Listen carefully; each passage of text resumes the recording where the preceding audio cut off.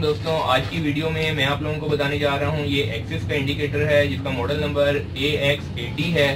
इसको मैं आज आपको बताऊँगा कि इसकी कैलिब्रेशन कैसे करते हैं, उसके अलावा इसका डेसिमल पॉइंट और कैपेसिटी इंक्रीमेंट वगैरह, ये किस तरीके से आप चेंज कर सकते हैं, इसके क्या कनेक्शन है। अभी देखें, हमने इसको बारह इंच बाई बारह इंच प्लेटफॉर्म के साथ अटैच किया है। आप ये देख सकते हैं कि ये कितना स्टेबल इंडिकेटर है।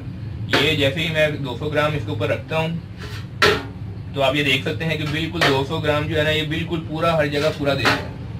ये आप देख सकते हैं कि कितना ये स्टेबल इंडिकेटर है। और वीरो भी जो है, इसका कितना स्टेबल है।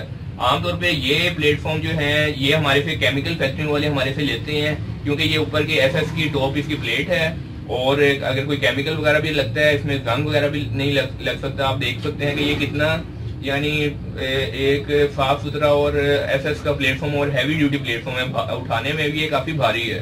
और स्टेबल भी ये कितना स्टेबल इंडिकेटर है। यानी जैसे भी कोई हम वन ग्राम कोई भी चीज़ हम रखते हैं इसके ऊपर ये फ़ौरन हमें ही बताता है। इसमें अगर आप ये एक्सेस का इंडिकेटर लगाते हैं तो बहुत अच्छे तरीके से ये चलेगा। अब मैं आपको इसकी एक्सेस की कैलिब्रेशन बताता हूँ।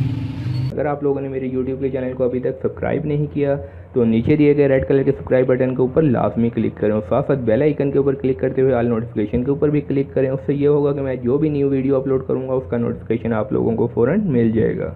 उसके अलावा अगर आप लोगों को इस वीडियो से थोड़ा सा भी फ़ायदा हासिल हुआ हो तो इस वीडियो को लाइक करना भी बिल्कुल भी ना भूलें, ताकि हम लोग जो आप लोगों की हेल्प कर रहे हैं, हमें भी पता लगे कि आप लोगों को उससे फ़ायदा भी हो रहा है या नहीं। कैलिब्रेशन इसकी कैसे है कि अगर आप ज़ीरो और फंस के बटन को एक साथ आप प्रेस करेंगे, ये मैं एक साथ इसको प्रेस करता हूँ।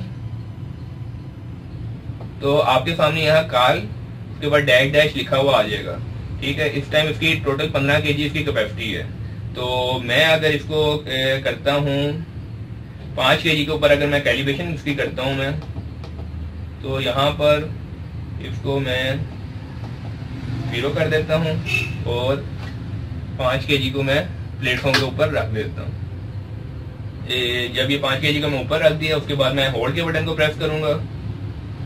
ये आप देख सकते हैं कि मैं ये होल्ड के बटन को प्रेस किया, ये पाँच के जी पूरा आ गया है। तो अब मैं इसको हटाता हूँ। जी फ्रेंड अगर आप लोग हमारे चैनल में न्यू हैं और विंग स्केल की इन्फॉर्मेशन लेना चाहते हैं, या अगर आप लोग विंग स्केल की प्रोडक्ट सबसे बेस्ट प्राइस में परचेज करना चाहते हैं, या अगर आप लोग विंग स्केल का बिज़नेस करते हैं और विंग स्केल की कैलिब्रेशन और उनकी रिपेयरिंग सीखना चाहते हैं, या अगर आप विंग स्केल इंपोर्टर या मैन्युफैक्चर हो और विंग स्केल की पब्लिसिटी करना चाहते हैं तो वीडियो के नीचे दिए गए रेड कलर के सब्सक्राइब बटन और बेल आइकन के ऊपर फ़ौरन क्लिक करें, ताकि विंग स्केल की लेटेस्ट इन्फॉर्मेशन मिल सके आपको सबसे पहले। उसके अलावा अगर आप लोगों को इस वीडियो से थोड़ा सा भी फ़ायदा हासिल हुआ हो तो इस वीडियो को लाइक करना भी बिल्कुल भी ना भूलें, ताकि हम लोग जो आप लोगों की हेल्प कर रहे हैं, हमें भी पता लगे कि आप लोगों को उससे फ़ायदा भी हो रहा है या नहीं।